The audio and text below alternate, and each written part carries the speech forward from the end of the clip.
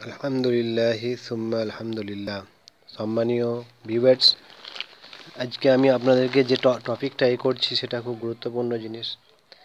দেখতে পাচ্ছেন আমাদের সামনে একটা বোতলের মধ্যে সিরাপের মতো দেখতে লাগছে। এটা কিছুই নয়, নিচে বাসক যে পাতা আছে ওটাকে ফোটানো, জলে ফোটানো। তার কালারটা এরকম হয়েছে। আমি যাচ্ছি আমার যে মিনি বোটানিক্যাল গার্ডেন আছে বোটানিক্যাল গার্ডেন দেখুন, এখানে যে আছে তুলসী গাছ আছে আমরা দেখিয়েছি এর আগের ভিডিওতে। এখন যেটা দেখাচ্ছি আমি বাসক গাছ এবং তার সেই পাতাটা দেখাচ্ছি।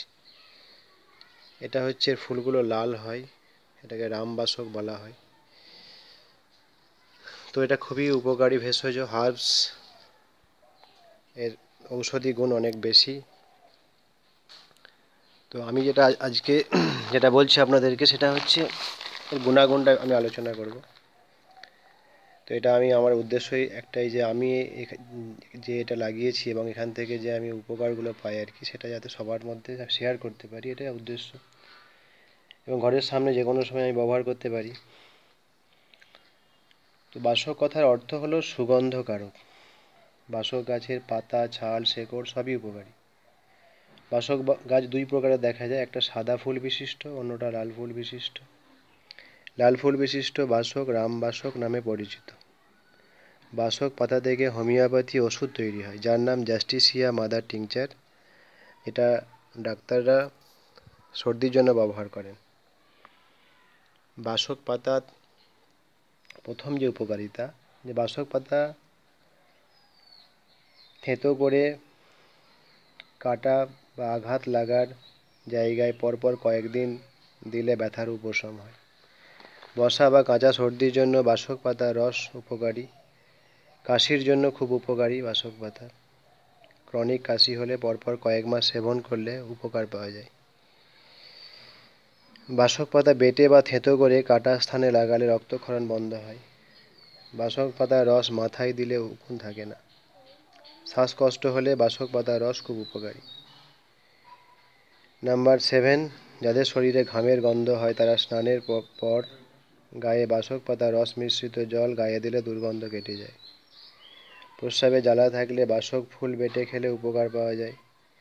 বাসক পাতা এবং কাঁচা হলুদ বেটে চুলকানির জায়গায় দিলে উপশম পাওয়া যায়।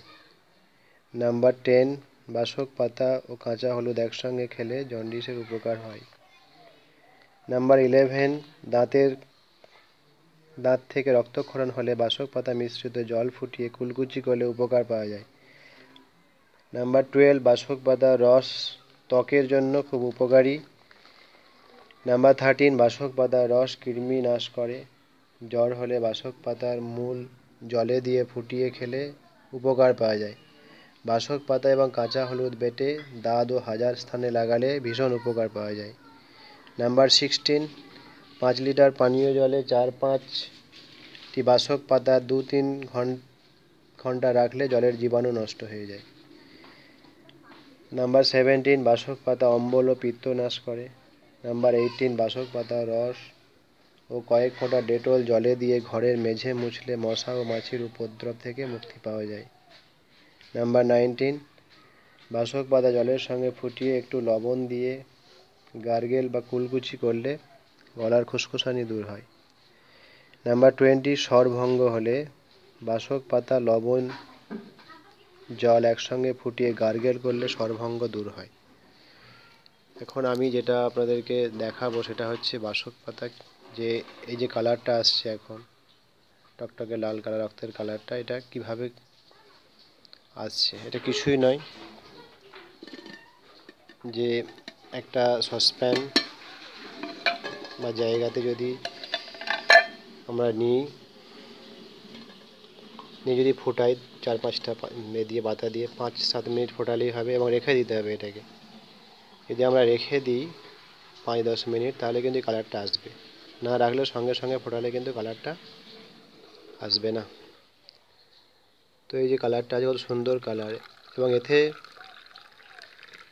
যদি আদা মেশানো হয় বা লবঙ্গ, এলাচ যদি এগুলো মেশানো হয় তাহলে কিন্তু এর গুণাগুণটা অনেক বেড়ে যায়।